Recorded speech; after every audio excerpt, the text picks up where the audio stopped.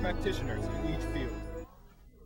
Hello and welcome to See You at USC. Today we're very excited to have Mira Furlan here, the actress who you may know as Danielle Rousseau from the hit series Lost. It's all coming up next on See You at USC, the best college talk show on television.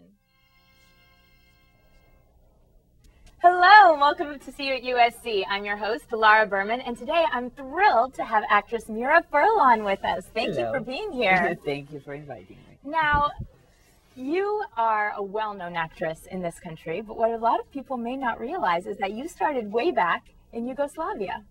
That's right. In a country that no longer exists. Before we get there, uh, what drew you to acting originally? Oh, uh, hmm.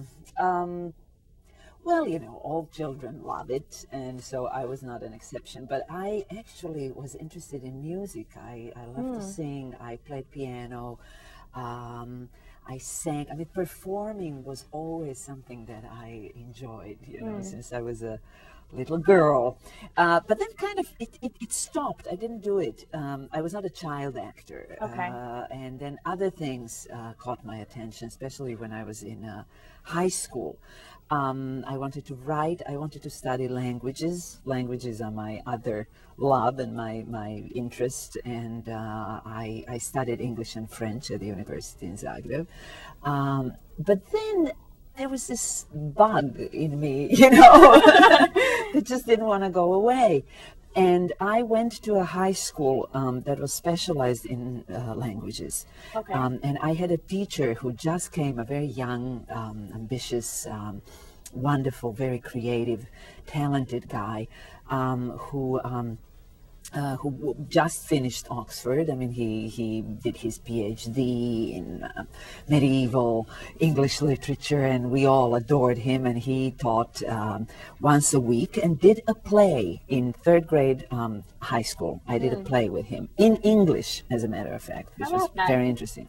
Um, and um, Foretelling. and we Foreshadowing. somehow i'm somehow it, it's weird how life plays these little um, little things um, uh, uh, anyway um, we performed uh, we had maybe one or two performances I, i'm not quite sure um, and at that uh, at that uh, performance, that one performance, I really had this epiphany, you know. Wow. Uh, in third grade. in third grade high school. Um, and I just knew that that was the thing that was so exciting, that was so magical, um, um, that was so empowering in so many ways, um, that I I fell in love there. So even and then you know Right. and then i tried it out i mean i i was not sure um you know but but that that that happened that that moment happened and uh, then i tried it out i kind of didn't say you know that's how it went i didn't say anything to my parents i went uh, for the um, um, entering exam which was kind of, kind of hard and many people wanted it and uh, many people uh, didn't get in and i thought if i don't get in i'll do my other thing you know? Right, i'll my do backup plan. languages my backup plan Right. um, mm, uh, but i did get in and it kind of really you know it was a choice that marked my life for Hmm. Well, better or for worse i don't know i mean it's a, it's a I would debatable say for better. I think your fans would agree. Oh. Uh, but it's great that you were able to trust your intuition at such a young age and really follow your dream and not get uh, sidetracked by the path you were on, which was the language path. Yeah, yeah. Who knows? I mean, who knows? You know, I uh, then I studied languages and uh, theater and film uh, parallelly. I mean, I, I, I, I ran from one university to the other every single day, and uh, my my life was just work, work, work, work, until I began um, to actually perform and work and get jobs at a very young age when I was still uh, a student, and then somehow this other thing you know, was pushed away. I just couldn't do it. I physically couldn't do it. And so um, I never graduated from my studies of languages, which sometimes I think I should have. so graduate. When you tell your son he has to graduate, exactly, right? exactly. Um, and somehow it, you know, I flew with the, I, I, I surrendered to the flow, to what was Right. happening. And the things that were happening were quite extraordinary. I mean, you gained a lot of prestige and recognition in Yugoslavia. What was it like? You even won two of the golden arenas, which yeah, is yeah, yeah. like Wow, our you, Oscars. you did your research. Um, yeah, I, I, um, it all happened at a very, uh, uh, you know, it, it happened quickly, and it happened uh, easily somehow, and uh, then you know later. I mean, you know, life is complicated in that way. Things happen, but then they stop happening, and then you find yourself asking yourself, like, what, wh- what, what did I do? what, why are things not happening? Right. um, why um, the, you know this ease with which things were happening is not continuing but Mm. but sometimes it doesn't and it's not really up to you i mean that's something that we all that's a lesson of It's life a hard lesson. it's a very hard lesson. Very it's hard. one of the hardest ones. Um, uh, that you are not really in control, not completely. I mean, Mm. And we'd so like to believe we Yes, are. we- it's we hard to let go. Exactly. But you have to. And sometimes things happen that are completely outside of your control. You like, for examples? example, Yeah. a war. Right.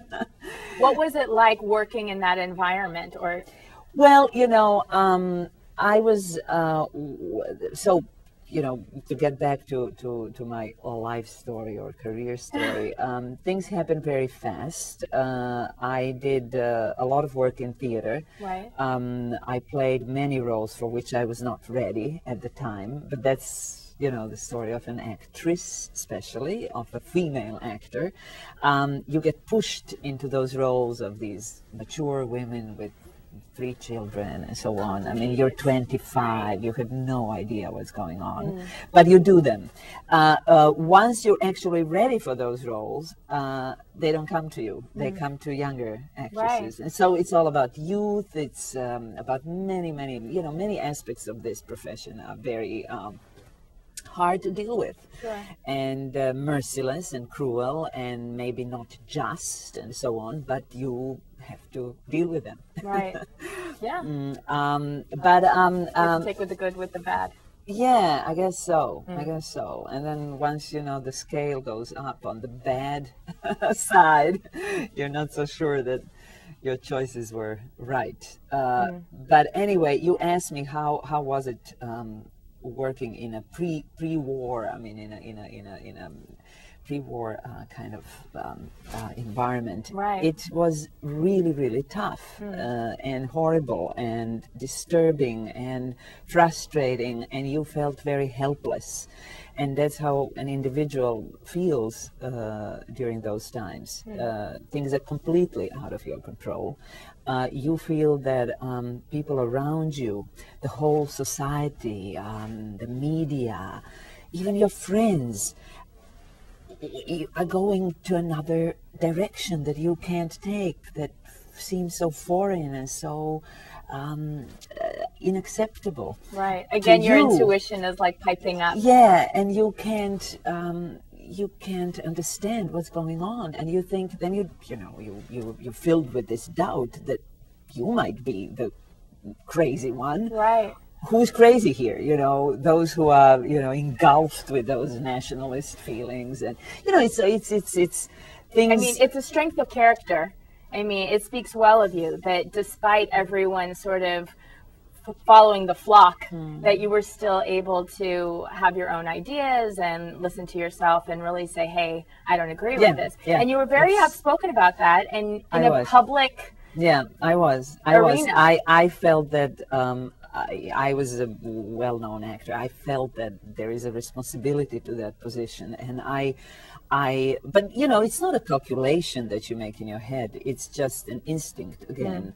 And you do what seems right. And you, you know, I was playing, I was, I was living um, I was married to to uh, uh, my husband, uh, uh, who uh, lived and worked in the you know the the other city, the the city that was the capital of the enemy state. So all at once, I was put you know in between those two warring factions.